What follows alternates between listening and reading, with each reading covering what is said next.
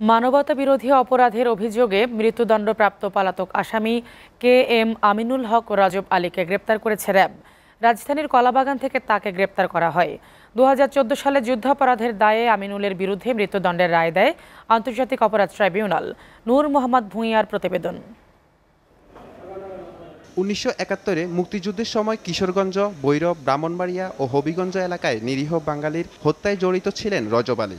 দুই হাজার চোদ্দ সালে মানবতা বিরোধী অপরাধে আন্তর্জাতিক অপরাধ ট্রাইব্যুনাল তার বিরুদ্ধে মৃত্যুদণ্ডের আদেশ দেয়।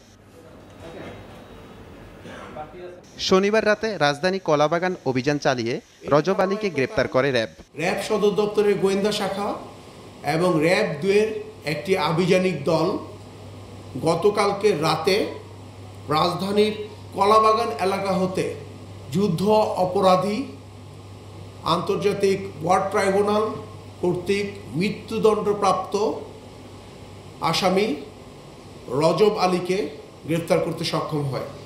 খন্দকার আলমইন জানান, আমি আলবদর বলছি ও দুই পলাশি, দুই মির্জাপর নামে দুইটি বই প্রকাশ করেছিলেন রজব আলী। বইয়ে মুক্তিযুদ্ধ, বঙ্গবন্ধু এবং পনেরোই আগস্টকে নেতিবাচকভাবে উপস্থাপন করা হয়। আমি আলবদর বলছি।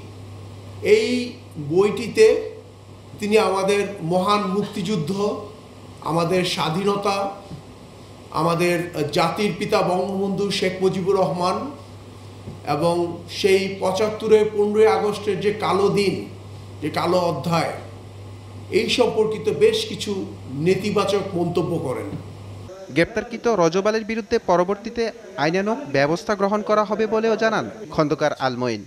গ্রেফতারকৃত বিরুদ্ধে আইনানুগ ব্যবস্থা প্রক্রিয়া দিন। নূর মোহাম্মদ ভূঁইয়া এসিটিভি ঢাকা। প্রিয় দর্শক জাতীয় এবং আন্তর্জাতিক সব ধরনের সংবাদ জানতে ভিজিট করুন এসএ টিভির ওয়েবসাইট www.satv.tv বিনোদনমূলক অনুষ্ঠান উপভোগ করতে সাবস্ক্রাইব করুন আমাদের ইউটিউব চ্যানেল। Slash satvbd যেখানে নিয়মিত কমেন্ট করে জানাতে পারেন আপনাদের মূল্যবান মতামত। এসএ টিভির বাছাইকৃত সংবাদ দেখতে ভিজিট করুন slash satv নিউজে প্রতি মুহূর্তের সর্বশেষ তথ্য পেতে লাইক দিয়ে সংযুক্ত থাকুন আমাদের ফেসবুক পেজে facebook.com slash satv news BD SA television সাথে আছি সব সময়।